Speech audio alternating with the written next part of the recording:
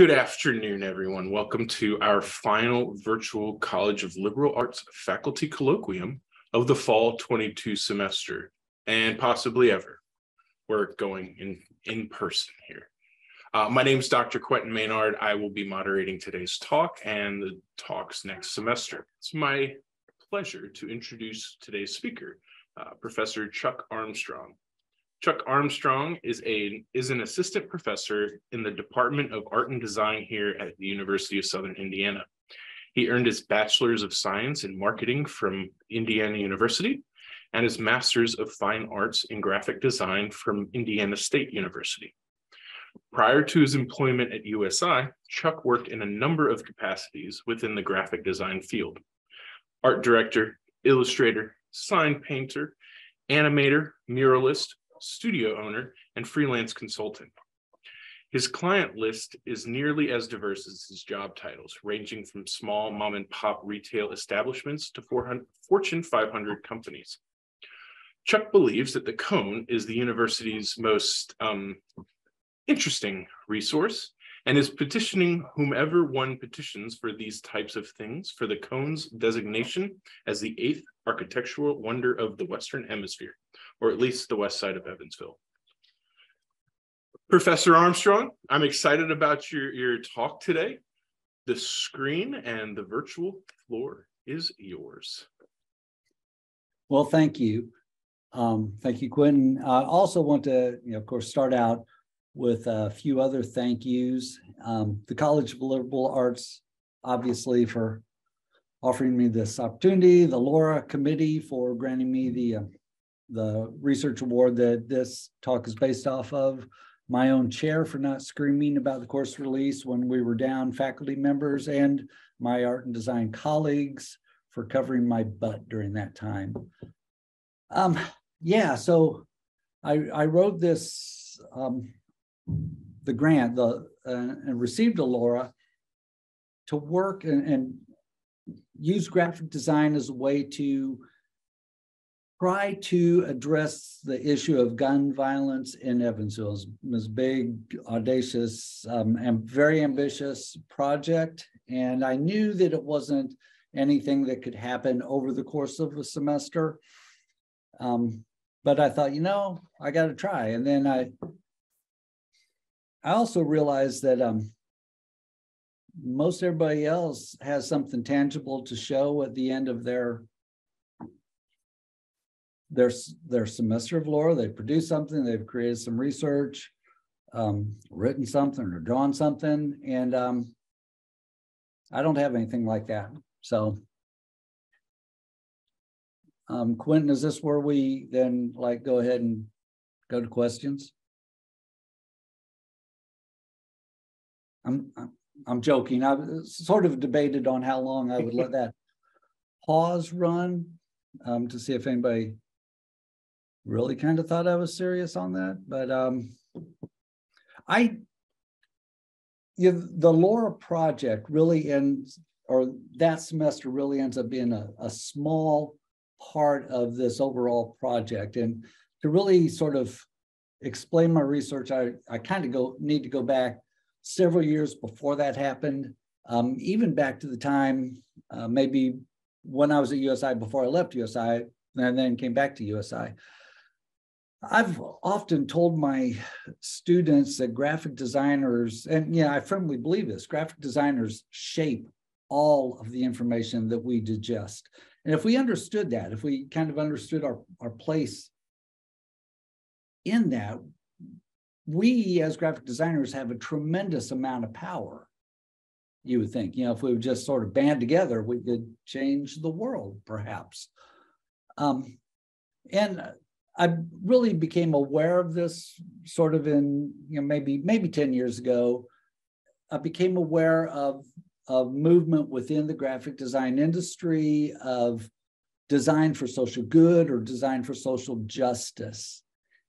And as soon as I heard it, I, I'm kind of like, you know, I've done a whole bunch of logos, I've done websites, brochures, catalogs, this is something new and this was a way that i was sort of invigorated by by some of what i was hearing there or some of what i was seeing um, but I was also at that time was very aware of what was happening in our schools. You know, the school shootings had been going on, but 10 years ago, they had been going on for, for quite some time. Um, I had some, some personal reasons for becoming more involved with that, some, some things that I was seeing and, and hearing that were kind of frightening. And I, I took those two together that if, if we have all this tremendous power um, and this ability, we shape all the information isn't there something that we as designers could be doing that would address this weird problem that nobody seems to know how to address? There's a designer named Liz Clint um, who works for an organization that I cannot pronounce um, where she works. It's in Copenhagen. She is a, a, uh, a product designer and senior project manager for this design firm. And she is also sort of an evangelist for the design for good and design for social justice and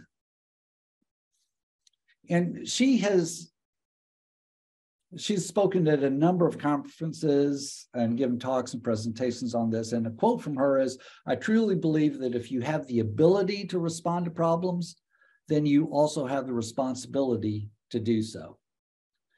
I took that to heart. Um, i think that I do have the ability to respond to problems like this, um, gun violence, and that means that I need to. And so that has sort of become my my windmill, so to speak. Now, 10 years ago, I though I had no idea what to do with this. And so the first thing that I did, it was following a mass shooting. I wrote what I felt was a, an articulate, reasonable post on Facebook. And it it went over about as well as you might imagine. Um, I it lasted about 24 hours. I took it down, disabled all the contents. I I actually after that left Facebook altogether for about four months. But I was just amazed at all these people first that were my friends, were my friends for, you know, for from high school.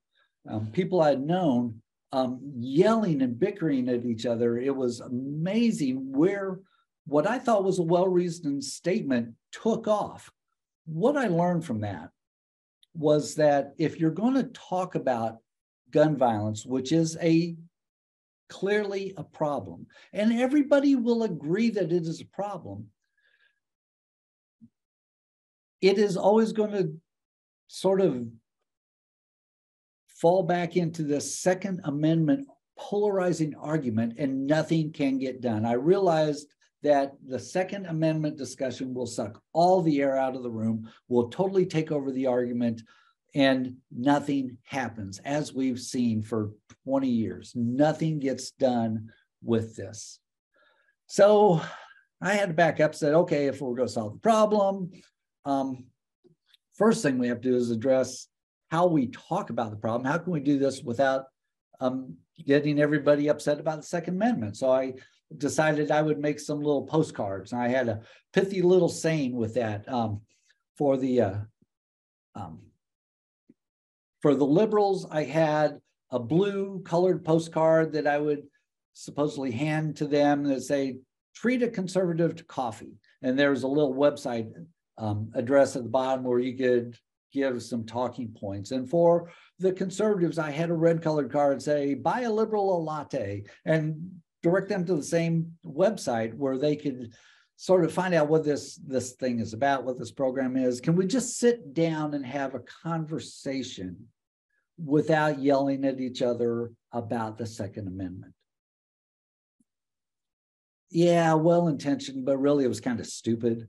Um, it's a cute idea. It's something like, oh, you know, bless his heart, he's trying, but he's not doing anything with this. Yeah, I, I, I made a website and I printed up these cards, and then I had to distribute them. I had to. I, I ended up, you know, that was all kind of embarrassing. I was posting flyers up around town, stealthily going around and yeah, taping them to walls and leaving leaving my cards like on top of a gas pump or something like that because I w- I wasn't good at, at handing them to everybody to anybody at all. And so you can imagine that that didn't go anywhere. So it was like all right it's it's a concept but it's sort of like me standing outside the building right now and yelling hey everybody stop shooting at each other.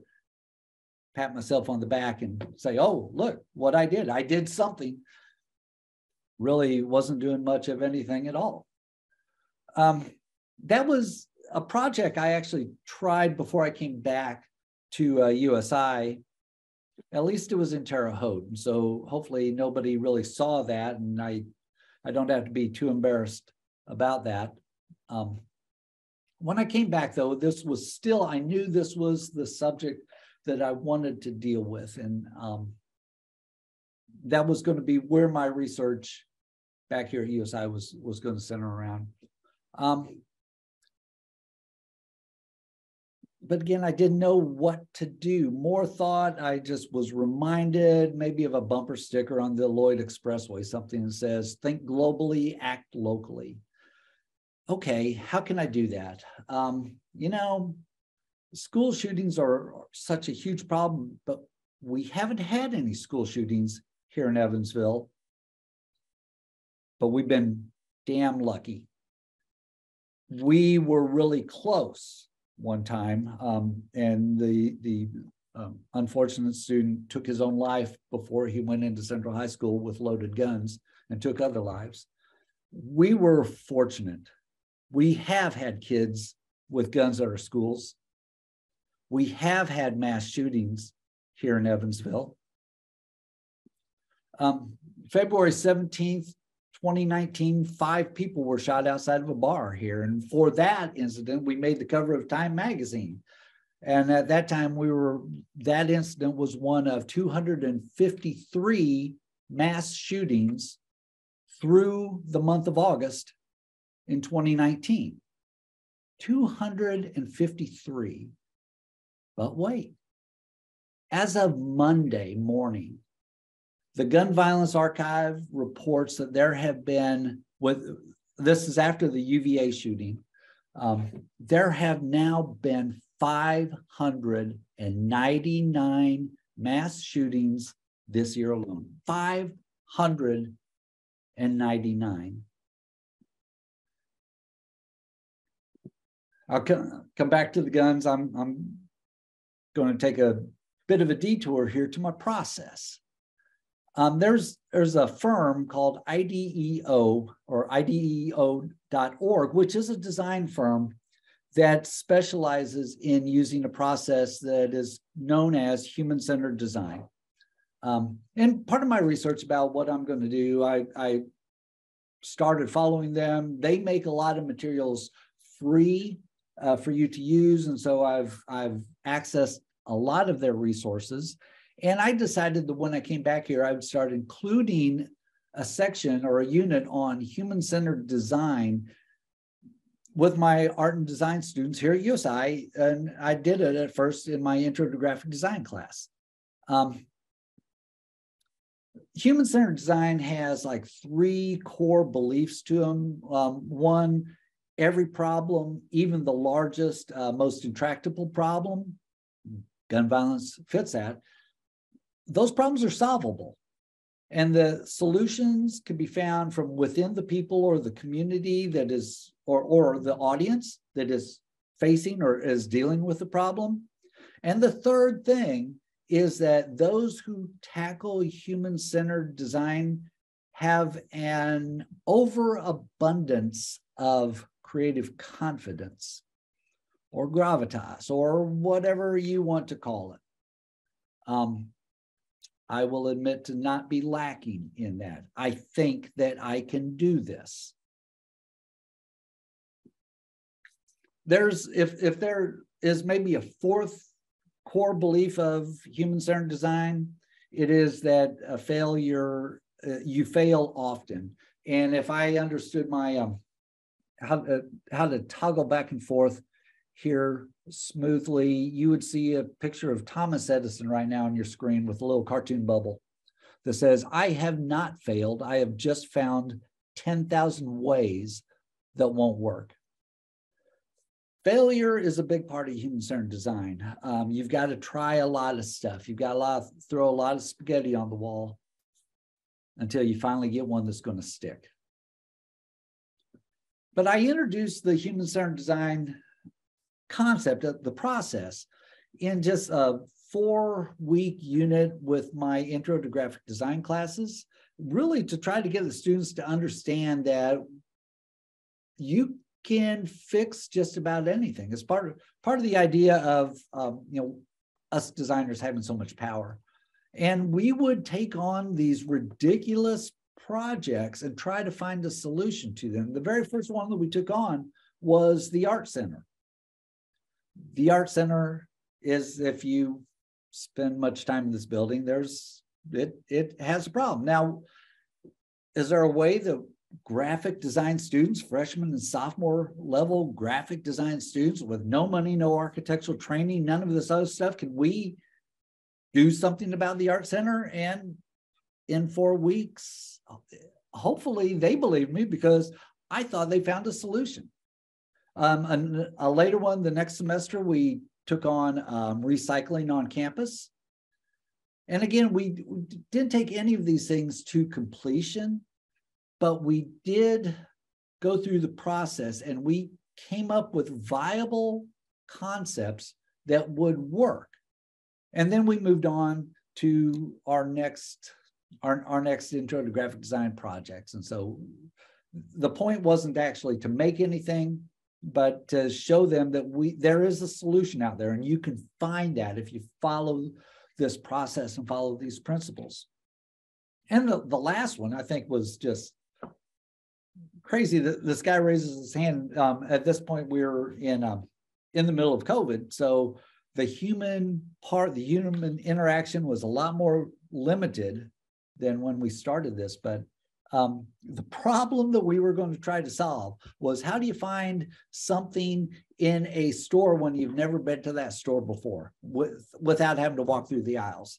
And I thought, okay, well, if there's ever going to be a project that that proves me wrong on this, this is it. But lo and behold, after four weeks, we had a solution.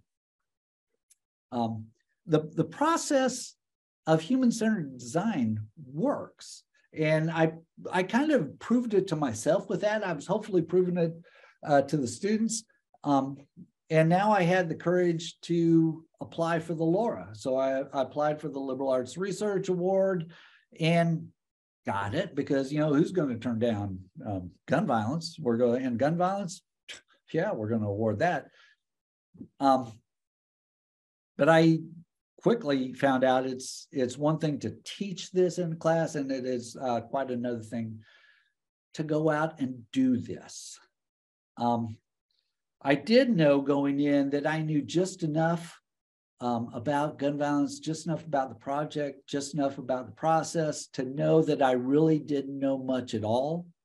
So i did know going in that there was going to be a lot of discovery with this. Um, i just didn't necessarily know how much. So the semester came, I had the course release and I had to start working on this. And, you know, where do I begin? So I, obvious places, gun violence is against the law. So, you know, that that's a crime. I'll start with the police department. Called the police department up, sent a couple emails. I did the same with Vanderburgh County Sheriff's Office.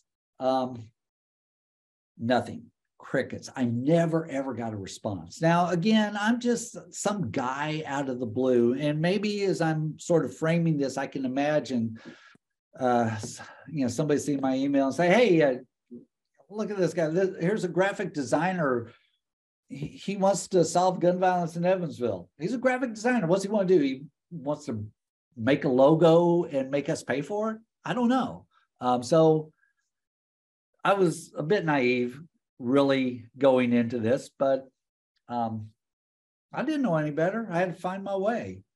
I did know following reading the literature that what I needed to do was assemble a team. We had to have a creative team that would would do this. And I'm an old white guy. and I live out in the burbs. I live out on the north side of uh, Evansville. Um, I looked at the maps. Uh, my house isn't centered in a place where a lot of gun incidents or you know calls for guns fired, shots fired. You know, every once in a while somebody shoots at a rabbit or something, or or maybe a raccoon on their uh, porch. But um, I knew that I needed a diverse group of people around me if I was going to have any legitimacy. And that was something that I need to do. This isn't just a one person type of project. If we really wanted to make a difference, we had to have a team of people. And so I started calling the people again. Now, you know, I knew better than to call the sheriff's office or the police department, but I went around um, assembling the team. And I had a bunch of lunches and coffee with people. I just called people out of the blue. I started with some people I knew. I, I one of the first calls I made was somebody um, that I knew was an avid um, hunter, was someone that I would kind of consider a gun guy, um, but also a good friend. And when we had a one-on-one conversation, he was all in. And I talked to a number of other old friends that did, and everybody was excited about it. But if I'm just going to assemble this team of old friends, they're going to be people who are a lot like me. So I had to uh, to spread it out. Um, I called our our uh, fourth ward councilman, Alex Burton. He was excited about this, um, and in talking to a number of different people, they um, sort of led me into some other directions. And Alex, in fact, told me about another initiative that was going on within law enforcement. And he invited me to um, at least zoom into a city council meeting in March of one. This was March of 2021. Um, there was an organization called the National Network of Safe Cities, and the city was going to hire this organization to come in and deal with gun violence. Now, their approach is different from what I thought my approach was, but you can't have too many people trying to do good in town, right? Um, I'm, I'm just going to say this without commentary is the city agreed to pay them $385,000 over three years to address this. Um, I haven't heard a lot about them in the year and a half since the city agreed to do that, but um, I'm sure they're spending the money well and we'll come back with a solution eventually. But I am thinking at the time of this uh, uh of the city council meeting that how can I get a seat at this table? I could use a little bit of of that to work on the project from my end. I learned also in talking with members of the community that there's another organization in town, Congregations Acting for Justice and Empowerment, or CAJE. They were the ones that actually went out and found the NNSC and pestered the city until the city agreed to go along with this. There's some interesting politics here because there are some members of CAJE who felt then that the, they weren't getting the credit due to that. Um, but but still, I, I called them and um, got some interesting resistance in that phone call. It was almost as if they wanted, or I should say, this isn't speaking about the entire organization. This is speaking about who I spoke to on the phone, that they felt that they had the ownership of the solution and I'm a designer wanting to do this. That's sweet and all, but um, maybe I am just the guy who can make a logo. That's at least the feedback that I kind of got over the phone call. So nothing went on from there, but talking with other people still in the community, I come to Mari. Mari is a mother whose son was shot at his front doorstep when they were shooting at somebody else. He did not die. He has been recovering from the effects of that gunshot for over three years now. He is still recovering. He is almost fully back to being um, as as mobile and as um, able to do everything that he was before, but he's still not there. Three years of this. Excuse me. Mari started an organization called Mothers Against Senseless Killings, or MASK, of Evansville.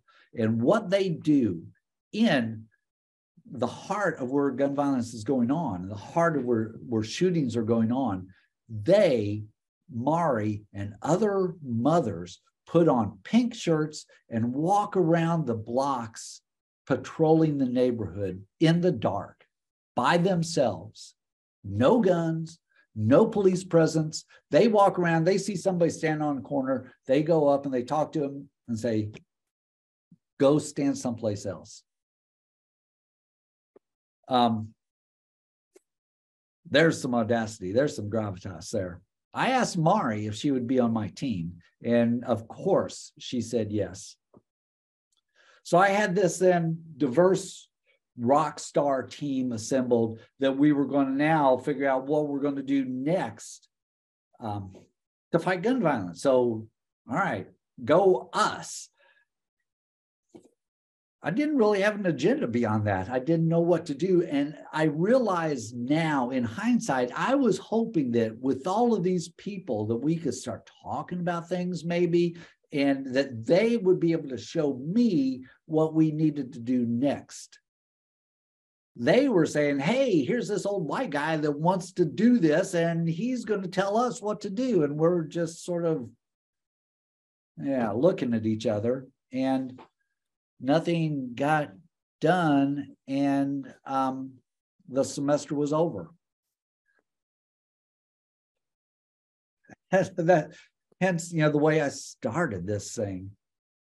I had talked to a lot of people who were much closer to gun violence than I was. And so it wasn't a total loss. It's not that nothing happened. Um, I had run into resistance that I was really kind of surprised at, and just not really pushback, but just some um, resistance of, you know, that's nice, but you're not going to get any help from us, sort of stuff.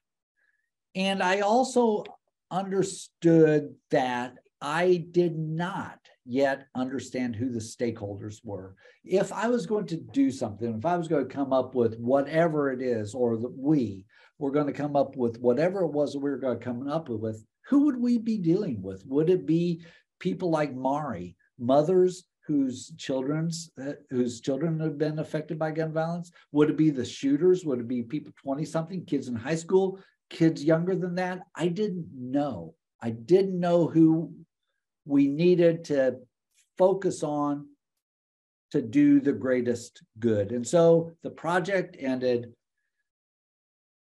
I was frankly overwhelmed by how much bigger this was than I thought it was going to be. I was embarrassed because nothing happened. And I literally I, I sat on it for the summer.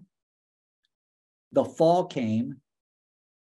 Classes started going on. I was busy with other things. I ended up sitting on it with the fall and again in the spring. And then the, the one thing that I did do was talk to my chair and uh, got a course scheduled, a special topics course in human centered design. And I was going to use this project as the uh, sort of the curriculum of that. Well, fall, spring, now summer. I've got to teach this class in the fall, and so I I was pretty much um, on the books now to teach this again. So I did pick it up again. So this is a map of uh, the shots fired for 365 days.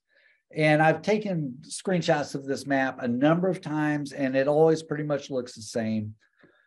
but what I did with this this time was, I think, you know, one thing that shows us that really shots are fired, the police are going on gunshot runs everywhere in the county, but there is clearly a concentration where these things happen. And even at this Zoom resolution, there's an awful lot of red, but these these icons are overlapping each other. So if you zoomed in even tighter, you would you would start to see some some of the city map show through, but there would still be some clumps, but it's not quite as dense as what we're looking at right now. But I took this information and I took it into Photoshop and did some manipulating with uh, colors and came up and determined what I, these were the hot spots.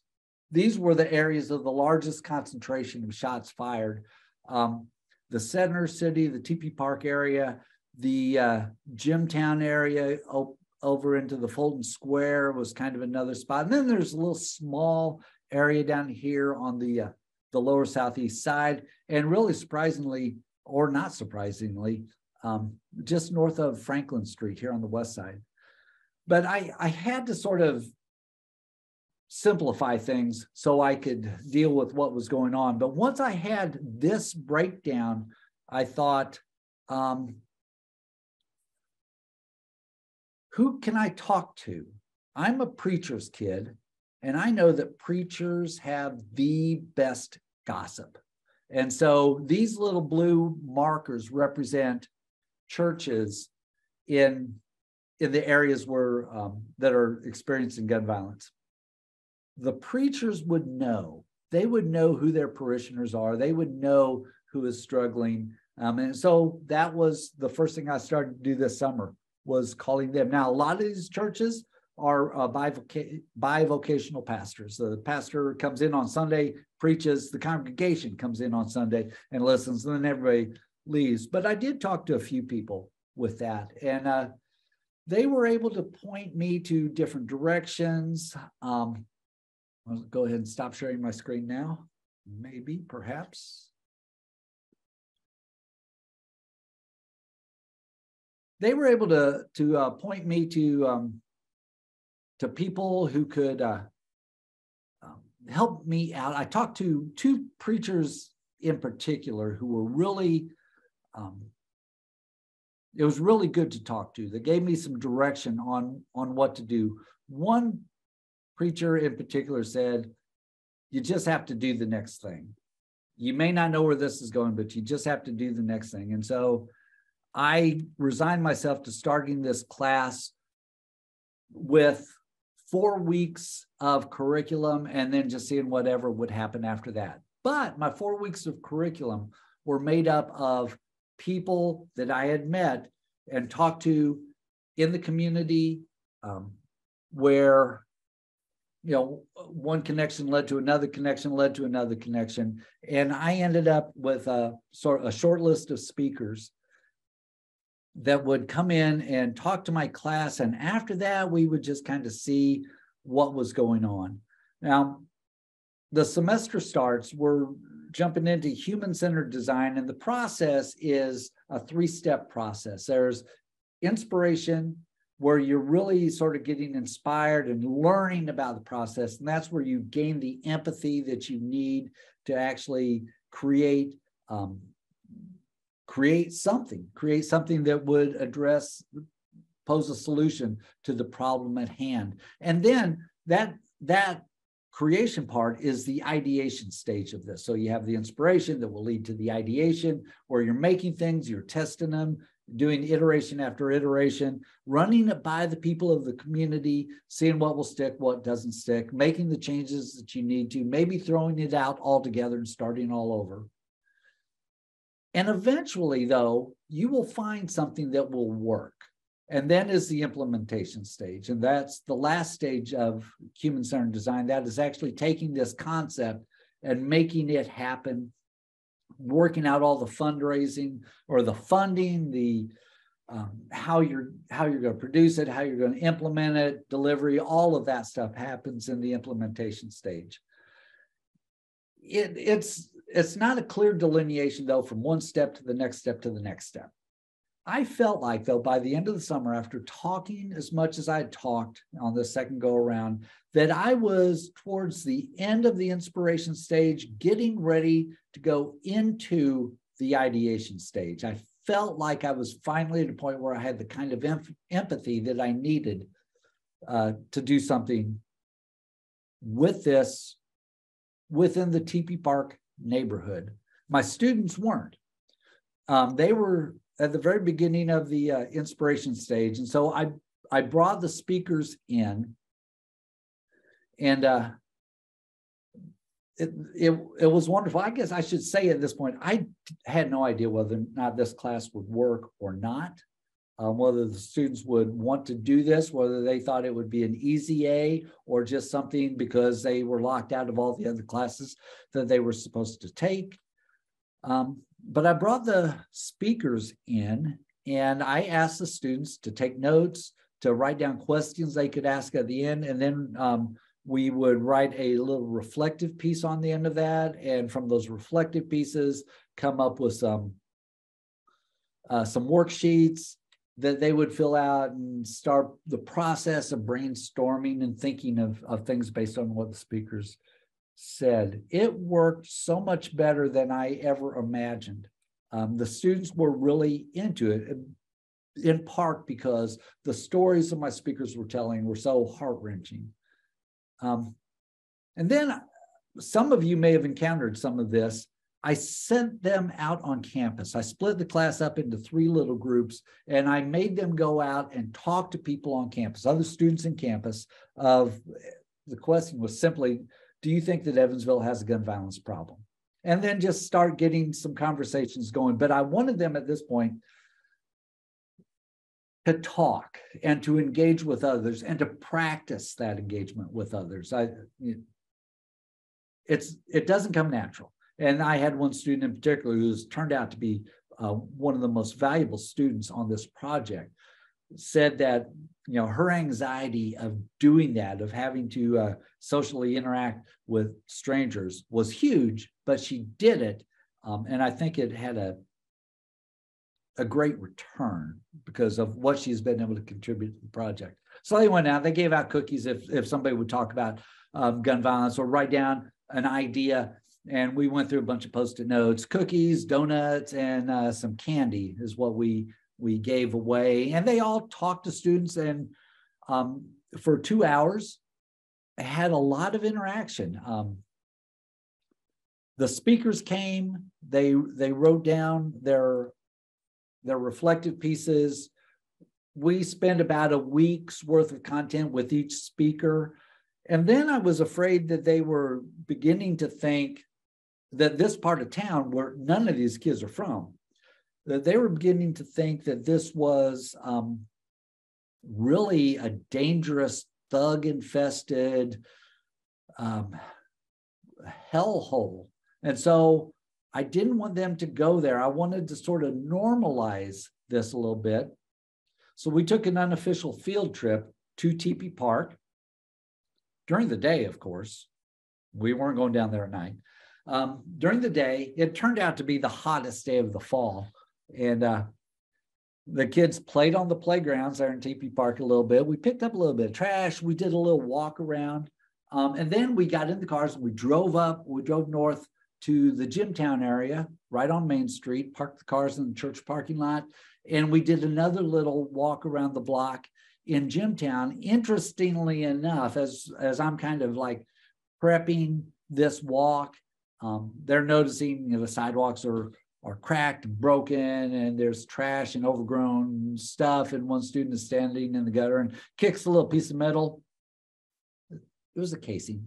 It was a gun casing. So uh, that sort of that bit of ironicness sort of went against my point of this, but still we're in the neighborhood during the day, and it did sort of normalize that that experience. And it was good. It was really good for the kids to see that this is a place where people live. People, kids grow up here. People live, go to school, they have to shop and, and do all that. It's not just a war zone. So we came back, and by now the students had the empathy, and we we entered the ideation stage. Um, here is something that I, I can show you guys. I, you know, part of the ideation stage, there was a lot of talking still before we actually started um, making things. And I think probably more talking than they were comfortable doing. But we went through a lot of stages with this. We came up with um, insights that they had not um, thought of before, insights that they learned from the whole process so far, maybe a dozen insights. We broke those down into five insights that we thought were this is new information that we could act on as college students, as an old white guy, that we could actually start to implement. And with each of those five insights, and we were going to have a day of brainstorming, just throwing out ideas and see what would stick. And I challenged the students um, to ha- come up with a hundred ideas for each of these five insights and thinking, you know, maybe if I say 100, we'll get 50. After we went through all five insights, we came up with 500. Each one of these cards that are rubber banded together is an idea that the students threw out there, 500 of them totally, um, with all those insights over really, it was a three day session of brainstorming. From that, we did some what ifs. What if we were to approach it this way? Um, we took those ideas, and the reasons why they're rubber banded together like that, like this, is dropping them all over the place now.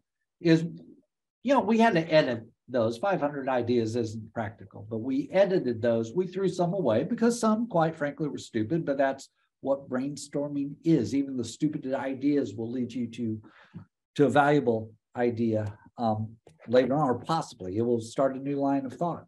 We mashed them together, we edited some out, we um, condensed some of the ideas and came up with like 27 concepts that um, were viable, maybe 27. That's not bad at all. And from that, we we went back and we we wrote down our we looked at our concepts and we identified seven design principles that we for sure wanted to stick with that would sort of keep whatever creative that we would end up coming up with. You know, as long as we're following these design principles, we would know that this was we were on the right track. And as we're talking through the concepts, um, the idea of uh, food deserts came up. That was something one of our presenters had talked about, which was a brand new concept to a, number of the students. Um, we sort of discovered that there was sort of a library or a resource desert in these areas, in the in the core of the areas where a lot of gun violence happens. And that sort of allowed one concept to rise to the top of everything that we had thought of. It, it is, uh, as one student called it, it's kind of like a library without the books, but it would be a, a way to bring technology research resources, um, computers, uh, maybe some some uh, tablets, free public Wi-Fi, uh, some a, a, place for people to come and hang out, play some video games, maybe get some study help, some tutoring help. There could also be some organizations uh, using this. We could have maybe art workshops or or music workshops or or uh, job training workshops and a kitchen. Something that we thought was really important to this was to to tie this to home and to tie this to the neighborhood it was really important that we always had fresh homemade cookies available on the counter for anybody who wanted to stop by. That's a concept that we have tentatively called Oasis right now. And I had class this morning before doing this. Well, yeah, this morning, Monday, Monday, Wednesday, Friday class. Yeah they are the students are currently in the process of putting together and editing an explainer video that we will be sharing this now with the Tepe Park Neighborhood Association Monday evening uh, to get the very first wave of feedback on this, um, which to me is really cool and really exciting that as lost as I felt at the end of the spring 2021 semester, I feel that much more excited that we have something right now. Now we're nowhere close yet. You know, there's an awful lot of work that needs to be done. Um, field work, whatever we come up with, uh, we need to be able to test it to run it by people to see if it's going to work. And in fact, I, I've applied for a couple other grants maybe for this summer to do just that. Um, and once we start testing, we may find out that our idea is stupid, but you know, we got 26 other concepts that we can try. And we'll keep plugging at this until we get something that shows that it will work and that the communities that we're dealing with embrace it as well. After that, then we can finally move on to the implementation stage. And this could be um, that, well, that, I, have no idea what this could be, but we, somehow we're going to have to get some money, some funding, um, grants, possibly private sector. Uh, maybe USI can be involved with uh, um, supporting this in, in various ways. Community partners are already um, organizations at work in these communities, not necessarily addressing gun violence, but addressing other socioeconomic concerns that the neighborhoods have. They may be something that that we can partner with, however, how in, in whatever this concept turns out to be. But um, we have a concept. We didn't have a concept before this semester started. And I was so far from a concept at the end of the spring of uh, 2021 that I'm, I'm I'm sorry if I'm stupidly giddy right now. But I also know that whatever we do will not end gun violence. But I'm hoping that we can take that that big map, all that red that you saw, and let some of the the color of the background map show through. Maybe maybe just in this one neighborhood, we can create kind of a little break or a, a circle in the middle of all the shots fired where um, people aren't shooting guns, kids aren't getting shot at the front doors, bullets aren't entering innocent people's houses, and people are no longer scared to even go out on their front porch at night. And so that's what came from my LARA. It just didn't come in the right time or in that time. And it's still going to go. So that's what I've got. Thank you for your attention. Uh, wow, for as long as this took. Sorry. You're good. Well, thanks, Chuck. Does anyone have any questions?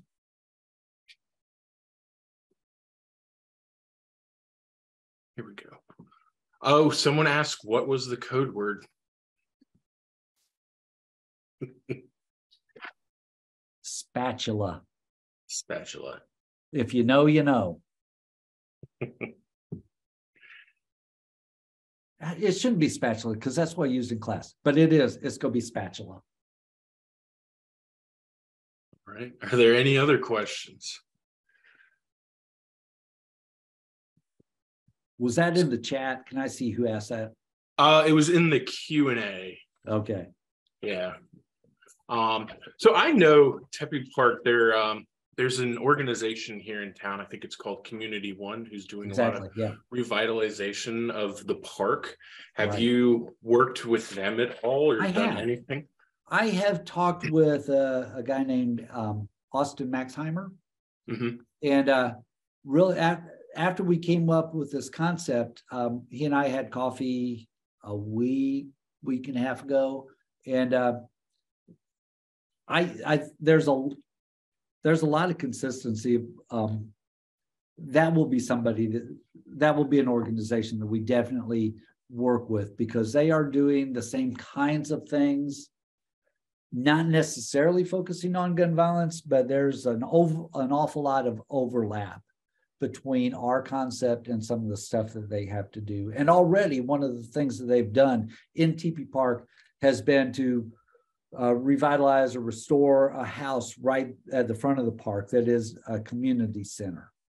That would be exactly the kind of structure where our concept would want to live. So, yeah, yeah, I've, I've talked to him. He is actually going to be at the uh, the neighborhood meeting on Monday, so I'll talk to him again there. Um, cool. All right, we got a few more questions. So, um, someone is asking, what are your plans for the next semesters? And how do you link these classes together?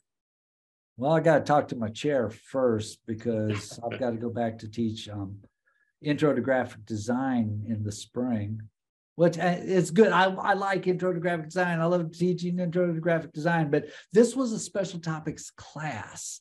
And I can't, I can't do this all the time, you know, for, just for a number of reasons.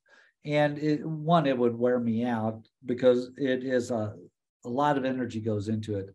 So it would be a number of semesters before I would ever be able to do this again, as it should be. And got other faculty who have things on their heart that they're passionate about that need to um, teach their classes as well. So how do I link this in is I I don't see myself linking this in as a class so much anymore. Um, I the people that I talk to to be on my team, I still hope that I can get them involved now that there is a concept and now that there is is something that we can start putting together to test to um, help so that they can help me discern and decipher you know some of the feedback maybe help um, implement some of this. If i were to get a grant this summer i could certainly hire a couple of students to help me do some little pop-up events where we could um, try some of these things out in the neighborhood. Show up on a saturday morning and maybe have some art lessons and and then ask some pointed questions play a couple of games that were designed to give us a kind of feedback by using student workers for something like that. And then and you know, this isn't something's going to be solved overnight. Maybe by the time we get to actually be being ready to finalize whatever this is then maybe it's time for me to do a 399 special topics class again and i can incorporate it that way. But um, besides student workers it's pretty much i think going to have to be volunteers from within the community for the the next couple of years. All right thanks. The next question is uh, a statement and then a question. It was Caitlin Ebert who asked the uh, the code word. All right. And then also, also, what made you choose design? Uh, did you have a prior passion for art? Uh, I didn't know what else to do. I, I, I was fired from everything else.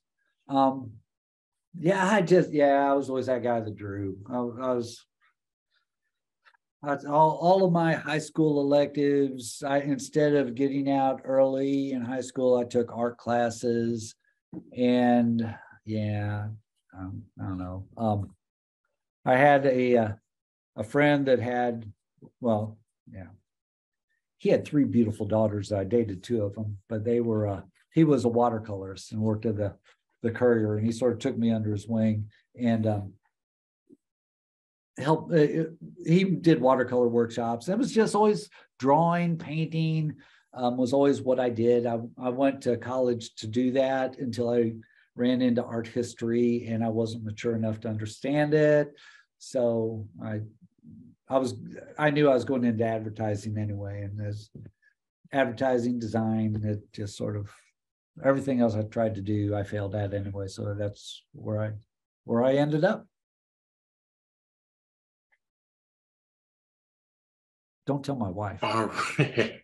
All right. Um, I have one more question, then we're going to have to cut it short.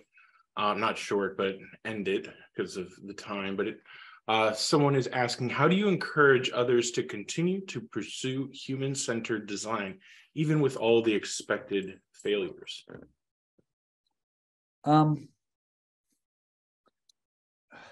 some sometimes it's not worth it. Uh yeah depending on on what it is you're doing it always has a place. If you have the time to do it in reality a lot of um, lower level design kind of projects you're not afforded that kind of time. Um, but but certainly the bigger things whether or not it's something for design for good or design for social justice um, even if it is uh, you know, app interfaces, human-centered design. That that idea of testing back and forth is provides you with way way better information than you can get just coming up off out of your own head. We live as designers, we live in a sort of a universe of one. We we think we have an understanding of how everybody else processes information and how they'll process what we design. Human-centered design forces you out of that uni- universe one into um, the the universe of everybody else and and getting that sort of feedback. Even if it is if you're not going through the the entire IDEO uh, field book but just taking a couple of exercises out of that and taking the design and putting it in front of somebody watching how they interact with it and getting that feedback that is invaluable information um, and the only way you can get that is by testing testing and then revising testing and revising. So, you know, yeah, if, if the project will afford it for you, do it at, at some level. And if you don't know how to do it, IDEO will let you download their field guide for absolutely free. Professor Armstrong, thank you so much for this this really interesting discussion. I don't know, I don't want to speak for the other attendees, but I had no idea personally that design did anything like this. It seems closer to my field, which I I, I love. Um, well, so we collaborate. Yeah, right. And so, thank you and everyone else for attending this this and participating in this discussion. I think it was it was interesting, right?